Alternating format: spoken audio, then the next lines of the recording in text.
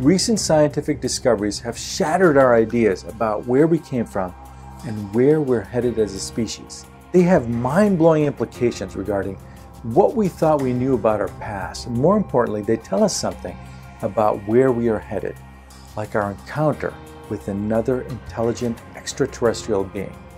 The six most profound discoveries coming up right now.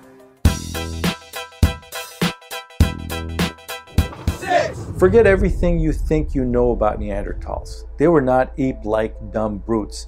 They were, in fact, just like us. And in a sense, they did not disappear 40,000 years ago. They evolved into us. They inbred with us. That's right, we had sex with them. And consequently, 2% of all current human genes are Neanderthal genes. They gave us immunity to many diseases and gave us lighter skin. Yes, Neanderthals were lighter skinned, not darker skinned. The original population of Native Americans immigrated from Asia and went almost straight to South America, hugging the west coast of Canada and the United States, before a secondary migration into North America. You would have thought that if the first populations of Native Americans came from the far north, what is now the Bering Strait, they should have expanded into North America first, before heading to South America. But anthropological evidence indicates that they went straight to South America first. This could have been because they followed warm weather or game migrations. Scientists think that much of North America may still have been in recovery from the Ice Age 25,000 years ago when they first migrated here. Four. There is flowing liquid water on Mars. Liquid water has been detected flowing on the side of mountains during periods of warm weather.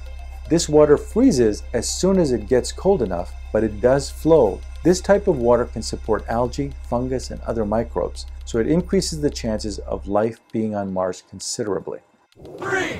Shortly before it lost contact, NASA's Dawn spacecraft discovered lights on the dwarf planet Ceres. This planet is only 300 miles wide, about the size of Texas, and lies in the meteor belt between Jupiter and Mars.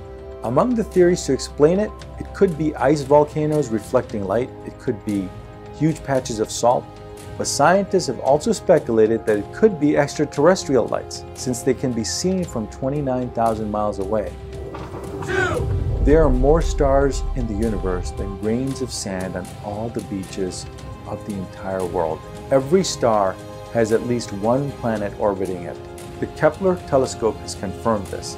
This makes it mathematically impossible that there is not at least another world where life exists. There has to be other life in the universe. The math indicates that the Earth being the only planet with life is 1 in 6 sextillion. That's 6 followed by 21 zeros. In addition, based on Kepler data, scientists estimate that there are at least 40 billion other planets the size of Earth and in the habitable zone of their stars in the universe. If that is the case, then we may find life elsewhere very similar to our own. We are not alone in the universe, folks. There's definitely life elsewhere. Now, whether that life is intelligent remains the big question. One. We will have first contact by 2040. Scientists predict that we will discover another intelligent life in about 20 years because of the powerful Kepler Space Telescope and the upcoming incredible James Webb Telescope which will launch in 2021. It's much larger than the Hubble and it's a hundred times more powerful. Unfortunately, we will likely never meet them in person. We may be able to communicate with them over multiple years at the speed of light, but we will never actually encounter them. Why? Because even the nearest star is four and a half light years away. It would take 185,000 years at the fastest speeds we can currently travel, about 11 miles per second or 17 kilometers per second. But even this speed is slower than a snail's pace when considering galactic distances. And even our communications at light speeds will take multiple years to reach them and multiple years to reach back to us.